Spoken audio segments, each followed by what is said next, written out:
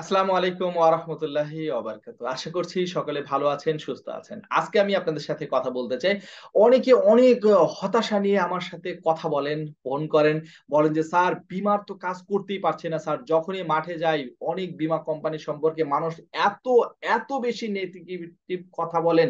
তারা এত আক্রমণাত্মক কথা বলেন যে, মনে হয় বিমা পেশায় আর কাজ করা যাবে না। মনে হয় এই পেশা ছেড়ে দিয়ে অন্য কোনো পেশায় যুক্ত হই। মেয়াদ শেষ হয়ে গেছে, টাকা পাচ্ছে না, বিমা গ্রাহক মারা মারা গেছে। মৃত্যু দাবির টাকা পাচ্ছে না। এসবির সময় তিন মাস, ছয় মাস হয়ে গেছে, তারা টাকা পাচ্ছে না। অনেক সময় দেখা যাচ্ছে যে অনেক কর্মীরা কাজ করছে, ঠিকভাবে তারা কমিশন পাচ্ছে না। বছর পর বছর কাজ করছে, তারা প্রমোশন পাচ্ছে না। ইত্যাদি ইত্যাদি নানা ধরনের সমস্যা নিয়ে জর্জরিত বিমা শিল্প। এ ধরনের কথা অনেক বিমা কর্মী বলে থাকেন। একটা প্রশ্ন আপনাদের কাছে করতে চাই, যে বিমা শিল্পে নানাবিধ সমস্যার কথা আপনি বলছেন, কিন্তু এখন পর্যন্ত কোনো বিমা কোম্পানি কি বন্ধ হয়ে গেছে? কোনো বিমা কোম্পানির কার্যক্রম কি বন্ধ হয়ে গেছে? এমন কি হয়েছে যে বিমা পেশায় যে সবচেয়ে দুর্বল বিমা কোম্পানি, সেই দুর্বল বিমা কোম্পানি থেকে একই সাথে একই দিনে সকল বিমা কর্মী বের হয়ে গেছে যে না, এই কোম্পানি তার কাজ করা যাবে না, কারণ এই কোম্পানির ঠিকভাবে সার্ভিস দেয় না, ঠিকভাবে বিমা গ্রাহকের টাকা দিতে পারে না, কর্মীদের প্রাপ্য সুবিধা দিতে পারে না। সবাই কি চলে গেছে? না। চলে যায়নি। ওইখানেও কিন্তু অনেক বিমা কর্মীরা কাজ করছে এবং সেখানেও বিমা পলিসি বিক্রি হচ্ছে, সেখানেও নতুন নতুন গ্রাহক আসছে। তাহলে দেখেন যে সেইখানে যারা কাজ করছে, এত বাধা বিপত্তি অতিক্রম করেও যখন তারা কাজ করছে এবং তারা টিকে আছে, নতুন নতুন গ্রাহক সৃষ্টি করতে পারছে, নতুন নতুন কর্মী সৃষ্টি করতে পারছে, তাহলে আপনি কেন পারছেন না? আপনার কোম্পানি আপনি যে কোম্পানি রয়েছেন, আপনার কোম্পানি হয়তো ঠিকভাবে সার্ভিস দিচ্ছে। বিমা গ্রাহক মারা যাবার সাথে সাথে হয়তো যখনই কাগজপত্র পাচ্ছে, দ্রুত সময়ের মধ্যে টাকা পরিশোধ করছে। তিন দিন, এক সপ্তাহের মধ্যে টাকা পরিশোধ করছে এসবি সুবিধা পরিশোধ করছে, মেয়াদ উত্তীর্ণ ঠিকভাবে টাকা দিচ্ছে, কিন্তু আপনি অন্য কোনো কোম্পানি নেতিবাচক কথা শুনে আপনি কাজ করতে পারছেন না। আবার আপনি যে কোম্পানিতে কাজ করছেন, হয়তো আপনার কোম্পানি অনেক দুর্বল দিক রয়েছে কিন্তু আপনার চ্যালেঞ্জ হচ্ছে যে আপনি এই দুর্বল দিককে কীভাবে সবল দিকটা খুঁজে নিতে পারে দেখেন, বাংলাদেশে যদি আপনি সব কোম্পানি নিয়ে স্টাডি করেন, প্রতিটি বিমা কোম্পানির অনেক ভালো দিক থাকলেও পাশাপাশি কিছু দুর্বল দিক রয়েছে। আবার একটি দুর্বল কোম্পানিরও দু একটি দিক অবশ্যই ভালো দিক রয়েছে। তাহলে যে দুর্বল কোম্পানি সেই দুর্বল কোম্পানির খুঁজে নিতে হবে যে দুর্বল কোম্পানিরও কোন সবল বিষয়টি রয়েছে, কোন ভালো দিকটি রয়েছে, কোনটি গ্রাহকের সামনে উপস্থাপন করা যায়। আবার একটি ভালো কোম্পানি যে দুর্বল দিক রয়েছে, তার মানে আপনি বুঝে নেবেন যে কোনো কোম্পানি শতভাগ হান্ড্রেড পার্সেন্ট সকল দিক থেকে পরিপূর্ণতার মধ্যে নেই। কোনো না কোনো সমস্যা রয়েছে। তাহলে যেহেতু সমস্যা রয়েছে, সেই সমস্যাগুলো নিয়ে কিন্তু আপনি চিন্তিত হয়ে যদি পড়ে থাকেন, তাহলে কিন্তু আপনি কাজ করতে পারবেন না। আপনার অবস্থানে অন্য আরেকজন কাজ করে ঠিকই ক্যারিয়ারে এগিয়ে যাবে। তাহলে আপনাকে কি করতে হবে? আপনার ফোকাস থাকবে আপনার কাজের উপর। দেখেন, একটা কোম্পানি ঠিকভাবে চলছে না। তো কোম্পানি পরিচালনার দায়িত্বে কি আপনি রয়েছেন? কোম্পানি পরিচালনার জন্য টপ ম্যানেজমেন্ট রয়েছে। কোম্পানির মুখ্য নির্বাহী কর্মকর্তা, ব্যবস্থাপনা পরিচালক রয়েছে। কোম্পানির বোর্ড রয়েছে। কোম্পানির বোর্ডকে দেখবার জন্য বিমা উন্নয়ন ও নিয়ন্ত্রণ কর্তৃপক্ষ রয়েছে, ইদ্রা রয়েছে। আবার ইদ্রাকে দেখবার জন্য অর্থ মন্ত্রণালয় রয়েছে। অর্থ মন্ত্রণালয় মানে গণপ্রজাতন্ত্রী বাংলাদেশ সরকারের অধীনে রয়েছে। তার মানে কি? যার যা দায়িত্ব যদি আমরা ঠিকভাবে পালন করি তাহলে কিন্তু দেখেন কোনো সমস্যায় থাকবে না। আজকে যে সকল কোম্পানির আপনি সমস্যার কথা জানেন বা সমস্যার কথা চিহ্নিত করছেন, সে সকল কোম্পানিরও কিন্তু দেখবেন কেউ না কেউ দায়িত্ব হয়তো অবহেলা করেছে। তার দায়িত্ব যথাযথভাবে পালন না করার কারণে আজকে এই সমস্যা। তো যেই কোম্পানি আজকে সমস্যা রয়েছে আগামী কালকেও যে সেই কোম্পানির সমস্যা থাকবে বিষয়টি কিন্তু এমন নয়। সেই কোম্পানি কিন্তু ঘুরে দাঁড়াতে পারে। যে কোনো সময় সেই কোম্পানিও ভালো করতে পারে, তার কোম্পানি কিন্তু সিরিয়ালে উপরের দিকে উঠতে পারে।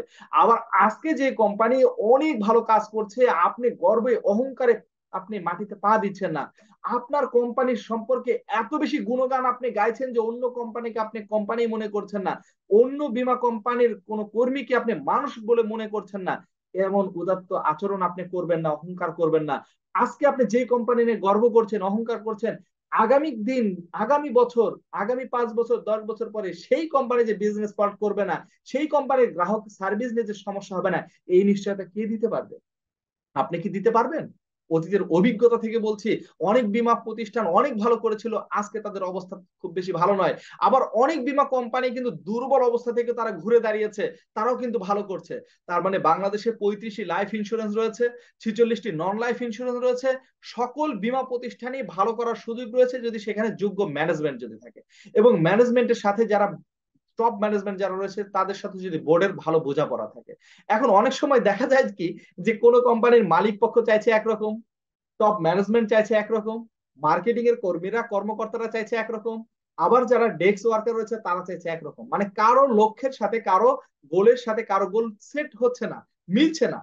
কিন্তু সেই কোম্পানি ভালো করছে, যেখানে কোম্পানির বোর্ড কোম্পানির টপ ম্যানেজমেন্ট মার্কেটিং ডেস্ক সব একাকার হয়ে তারা একই সুতোই গাথা মালার মতো হয়ে যখন তারা কাজ করছে, তখন সেই প্রতিষ্ঠান কিন্তু ভালো করছে।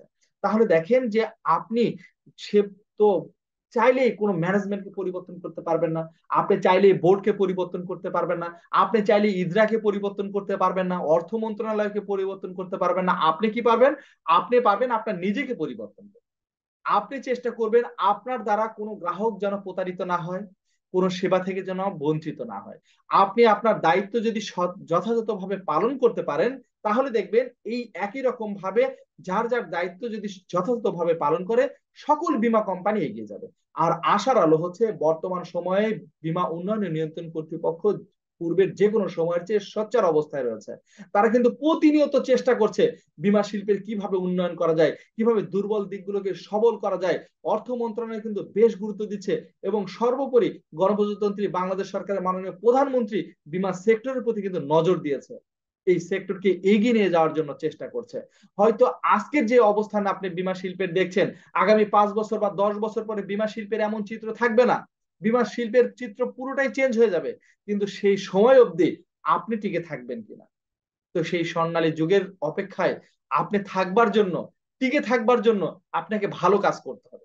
আর আপনি যদি অন্যের কথা শুনে হতাশ হয়ে এই পেশা থেকে হারিয়ে যান, তাহলে আপনার চেয়ারে, আপনার অবস্থানে অন্য কেউ সুখ ভোগ যেহেতু কষ্ট করেছেন, যেহেতু পেশায় এসেছেন, এই পেশা থেকে হতাশ হয়ে ফিরে না গিয়ে এই পেশাতে লেগে থাকুন, এই পেশার প্রতি শ্রদ্ধাশীল হন নিজের দায়িত্ব সঠিকভাবে পালন করুন, দেখবেন শিল্পের পরিবর্তন হবে, আপনার পরিবর্তন হবে এবং এর মাধ্যমে দেখবেন পুরো দেশের উন্নয়ন হবে। আশা করছি যে এই ভিডিওটি আপনাদের হয়তো কোনো না কোনো কাজে লাগবে। যদি ভালো লেগে থাকে, অনেক বেশি মানুষকে দেখবার সুযোগ করে দেবার জন্য এই ভিডিওটি শেয়ার করবেন, অন্যকে দেখবার সুযোগ করে দিবেন। পরিশেষে সকলের সুস্বাস্থ্য ও দীর্ঘায়ু কামনা করে আজকের মতো এখানে শেষ করছি। ধন্যবাদ সবাইকে।